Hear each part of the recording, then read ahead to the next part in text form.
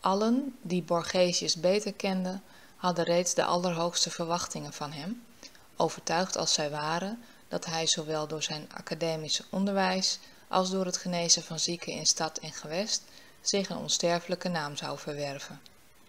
Ja, velen waren van oordeel dat hij een onvergetelijk medicus zou worden, en niet alleen zijn landgenoot Volker Koiter, die Nuremberg eens als hoog ervaren stadsgeneesheer hoog geschat en die eerd gezien, uh, die eerd zeer geziene gast was bij de al even grote Ulisse Aldrovandi, zoals blijkt uit een voortreffelijk geschrift over anatomie, hoewel de herinnering aan hem in Groningen bijna verdwenen is, overtroffen zou hebben. Maar zulk een medicus gebleken zou zijn als er volgens Geronimo Cardamon, Cardanom maar één in de duizend jaar wordt geboren. Inderdaad scheen het begin van zijn praktijk deze verwachting te wettigen. En hij zou zich nog groter betoond hebben dan deze lovende uitspraak wilde, als niet de driewerf beste en hoogste God, die hoogste bestierder van onze gedachten, anders had beschikt. Want tijdens zijn verblijf in Angers, waar hij wel zuinig met wijn was, maar kwistig met olie voor de lamp, zodat hij zelfs Aristophanes en Cleanthus in nachtelijke studieijver overtrof, liep hij, een niet alleen, liep hij een niet alleen acute, maar zelfs ongeneeslijke ziekte op, die zijn hoog ervaren gastheer aan zijn vader mededeelde.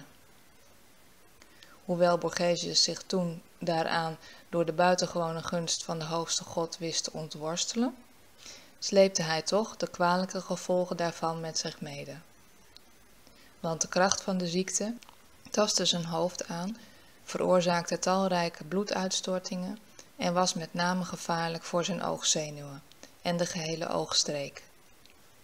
Zijn gezichtsvermogen, vroeger vergelijkbaar met de scherpe blik van een adelaar, werd aanvankelijk in lichte mate verzwakt, werd vervolgens aangetast en ernstig verduisterd en tenslotte geheel weggenomen alsof het gode behaagd had hem, die zo knap over ontstekingen had gedisputeerd, nu door deze ziekte te vellen. Ondertussen liet hij geen enkel in aanmerking komend geneesmiddel onbeproefd. En hoewel hij de langzamerhand voortschrijdende blindheid een tijd lang wist tegen te houden, vooral met behulp van samengestelde medicamenten en nicotinedamp, aarzelde hij geen moment toen hij hoorde van een mineraalwater dat uit bronnen bij Herborn in het graafschap Nassau opborrelde, om vergezeld van zijn lieve vrouw en zeer beminde broeder, de hooggeleerde Joachim Borgesius junior, toen ter tijd een bijzonder sieraad van het gymnasium in Wezel, ondanks ontelbare moeilijkheden daarheen op reis te gaan. Als het gerucht echter alles wat onzeker is pleegt aan te dikken, merkte hij niets van de geneeskrachtige werking van dat water. En zelfs een overvloedig gebruik ervan bracht hem geen baat. Daar intussen alle ziekteverwekkende stof naar zijn ogen vloeide, nadat de ziekte tevoren de weg hiervoor had geopend, verergerde deze kwaal zo dat hij tenslotte gedwongen was het zoete licht vaarwel te zeggen, omdat zijn vensters waren afgesloten.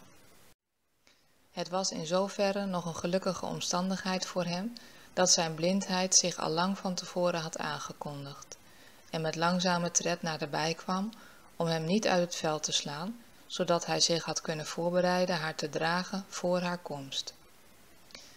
Nauwelijks laat zich zeggen hoe geduldig hij dit euvel en blindheid vonden anderen rekening houden met zijn leeftijd, beroep en huwelijk wel het ergste wat hem kon overkomen, heeft gedragen en niet alleen met de berusting van een filosoof, maar met die van een christen heeft verwerkt.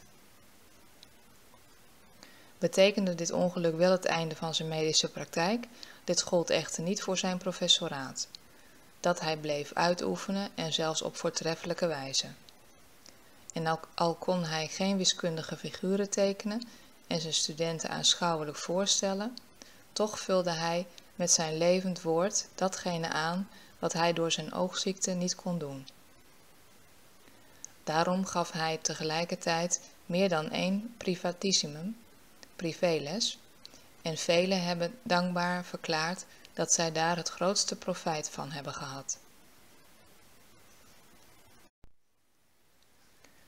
Zijn colleges waren gedegen, verzorgd en gekruid met het sesam en de papaver van allerlei verhalen en aardige anekdoten. Vooral die colleges die hij in de cursus Geografie aan de illustratie van zijn eigen Nederland wijde. Men zou ze waarschijnlijk zijn zwanenzang kunnen noemen.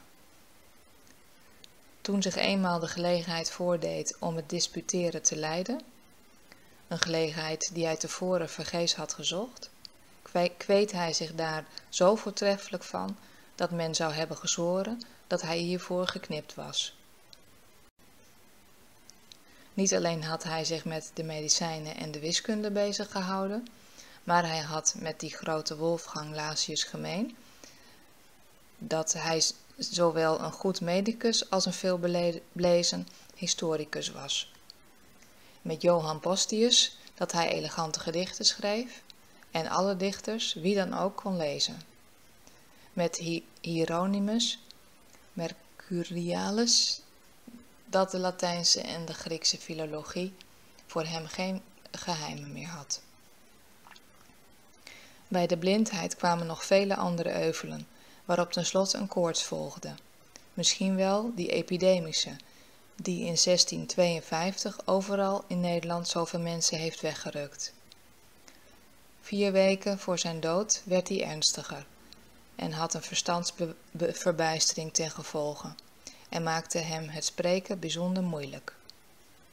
Hij riep toen de hulp van, hoogervaren heer, van de hoogervaren heer Anton Deusing in.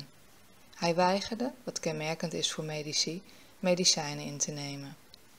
Maar toen hij op verzoek van de allervriendelijkste Deusing eindelijk een heilzame drank, bereid volgens de regels van de kunst, had ingenomen, verliet hem na veertien dagen de koorts.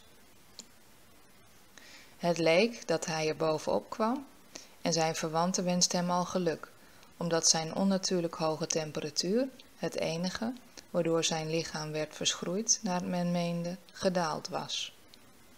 Maar intussen heeft een ernstige verslapping, een tegenzin in eten en drinken, terwijl hij ook nog in lichte mate koorts bleef houden, langzaam geleid tot een diepe slaap, die bijna een lethargische was. Toen hij ook nog last kreeg van oprisping en hik, en hij ook niet meer de beschikking had over zijn verstand en spraakvermogens, is hij daardoor twee dagen later op 22 november van het reeds genoemde jaar 1652 tussen 6 en 7 uur s morgens rustig in den Heer ontslapen.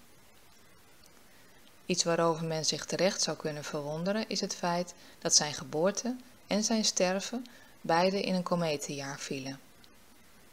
Want zoals, het, zoals er in het jaar 1618 een huiveringwekkende komeet geschitterd heeft, zo, zo vertoonde zich ongeveer een maand na Borgesius overlijden een nieuw verschijnsel aan de hemel dat veel van een komeet weg had. Zo, zo nu was het sterven van Johan Borgesius een voortreffelijke man, uitnemend wiskundige, even, een even knap als veelzijdig geleerd medicus. Op zijn lippen scheen de overredingskracht in eigen persoon te huizen. Met zijn ongekunsteld en door en door oprecht karakter placht hij in vriendschappelijke gesprekken met geestigheden die alle bitterheid misten te strooien gaarne gehoord door al wie het hoorde. Zijn gehele leven was hij een groot vriend van vrede en eendracht, niemands vijand, wars van, van iedere hovaardij. Van vleien wist hij niets en vleiers kon hij niet uitstaan. Bovendien leefde hij sober, rein en waarlijk vroom, van harte godvrezend, zijn plaats kennend tegenover hoger geplaatsten, met name eerbiedig tegenover zijn ouders, vol hoogachting tegenover zijns gelijken en minzaam tegenover lager geplaatsten. Een criticaster zou hem alleen dit hebben kunnen verwijten dat hij niet zo'n behoedzaam en voorzichtig koopman was. Want toen hij op die manier zijn gering salaris wat wilde aanvullen, is hij door Mercurius, die hij toch in zijn inaugurele reden als oplichter en schutspatroon van dieven had gehekeld, om de tuin geleid. Hij liet een zoon, negen maanden oud, Daniel geheten achter. Omdat deze een verstandig knaapje is en sprekend op zijn vader lijkt, hopen wij dat te zijner tijd Borgesius zaliger in hem zal herleven. De hooggeleerde Martinus Schook, gewoon hoogleraar in de logica en fysica, hield de lijkrede op de overledene en daaraan hebben wij het voorgaande, voorafgaande ontleend.